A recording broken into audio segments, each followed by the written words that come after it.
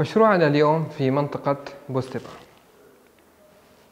المشروع قريب من مطل بوستبا المشهور شاي بهجسة المطل هذا معروف أنه من المدن من المناطق السياحية المعروفة في مدينة آه، طرابزون.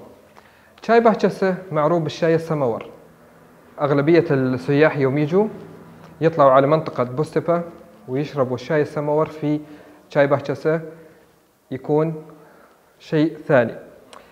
وأيضا المشروع قريب من ميدان طرابزون المشروع اسمه مودرن بوستيبا المجمع شكله جاي على شكل نصف دائري ومساحة الأرض أو مساحة المجمع 94 ألف متر مربع. 15 بناية كل بناية تسعة طوابق وبه مصعدين. يعني كل بناية في له مصعدين. الخدمات اللي موجودة في المجمع مسبحين رجال ونساء حضانة للأطفال نادي رياضي مرسم للأطفال بالإضافة إلى المسطحات الخضراء والنوافير وأيضا كاميرات المراقبة على مدار الأسبوع. وما ننسى أيضا المواقف السيارات المغلقة. تعالوا مع بعض نلقي نظرة على الشقة اللي موجودة عندنا في هذا المجمع والإطلالة الجميلة ومساحات الشقق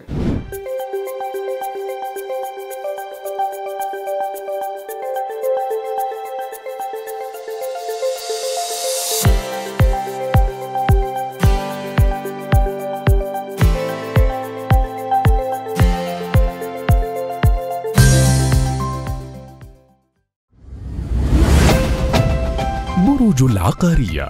جمال الدار وأمان الاستثمار.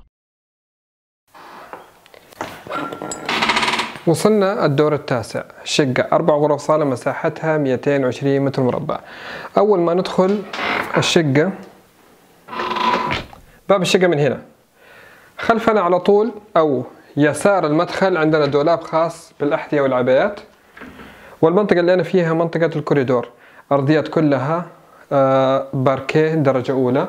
بالإضافة إلى عندنا يميننا هنا أنترفون تاب على شكل تاب اللي هو أنتركوم عشان فتح البوابة الخارجية.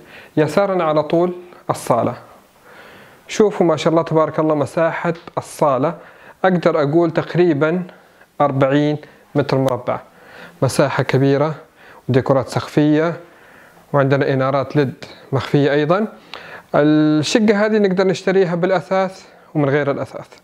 واجهة أمامية زي ما أنتم شايفين. واجهة زجاجية. أربعة قطع من الزجاج. إطلالة بحر كاملة وإطلالة المدينة. يعني إطلالة بانورامية على الطبيعة وعلى البحر. الواحد هو قاعد في الصالة بيستمتع بأحلى إطلالة. نطلع من الصالة نتوجه إلى البلكونة. تعالوا مع بعض.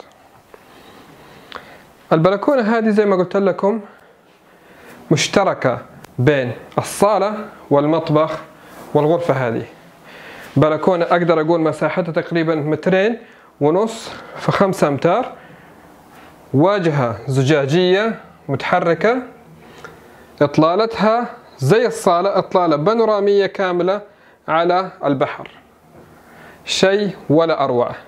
وعلى المدينة أيضا. مزود أيضا بالستائر الرول. نتوجه من البلكونة إلى المطبخ.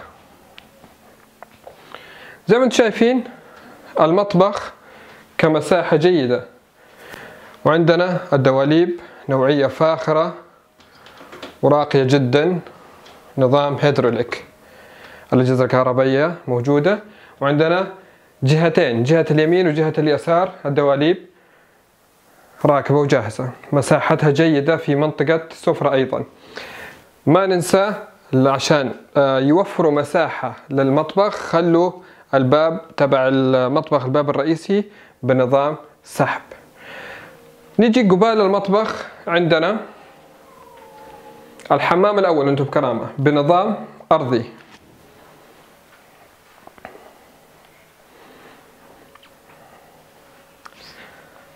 كمساحة للحمام جيدة. ومقابل الحمام عندنا حاطين شيء جميل وراق وراقي أيضا اللي هو مدخل بمراية يعني شيء رائع. نكمل مع بعض تفاصيل باقي الشقة. نبدأ من الغرفة الأولى.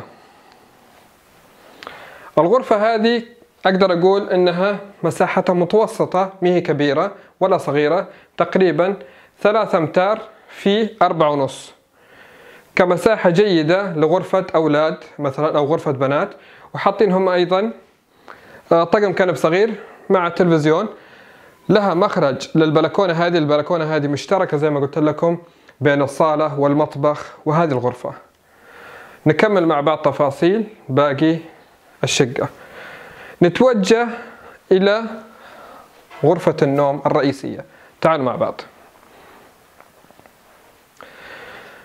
غرفة النوم الرئيسية هذه اللي هي غرفة الماستر حاطينها بهذا الشكل في المنطقة هذه.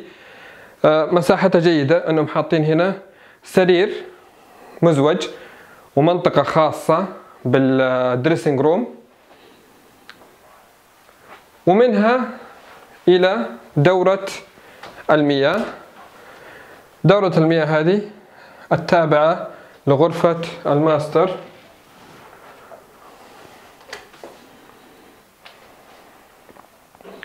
موجود أيضا دواليب خاصة بغرفة النوم آه، الرئيسي اللي هو آه، دواليب dressing room دواليب متناسقة وجميلة. من الأرض إلى السقف كمساحة ال dressing room متناسقة جدا. آه، مساحة الغرفة جيدة أنها يسع فيها سرير مع الكومودينات والتسريحة. منها نتوجه إلى البلكونة الخاصة بغرفة النوم الرئيسية. البلكونة هذه بلكونة صغيرة تعتبر ثاني بلكونة للشقة مزودة بالزجاج المتحرك وأيضا إطلالتها الرائعة على الطبيعة والمدينة والبحر. نكمل مع بعض تفاصيل باقي الشقة. ما ننسى الشقة كلها مزودة بالتدفئة المركزية والشقة ككل واصل فيها نظام الغاز. مقابل الغرفة النوم الرئيسية عندنا الحمام الرئيسي الخاص التابعة للشقة. حمام متكامل وأنتم بكرامة.